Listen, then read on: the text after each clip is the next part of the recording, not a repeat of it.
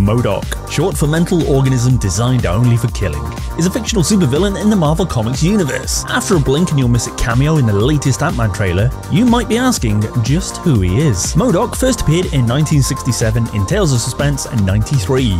He was once an engineer named George Tarleton, who worked for the terrorist organization Advanced Idea Mechanics. After volunteering to be the subject of an experiment to create the ultimate weapon, he was transformed into a being with a giant head and tiny body. With his new form, he possesses vast intelligence and psychic abilities such as telekinesis and telepathy. MODOK's ultimate goal is to use his intelligence and abilities to conquer the world and establish himself as its ruler.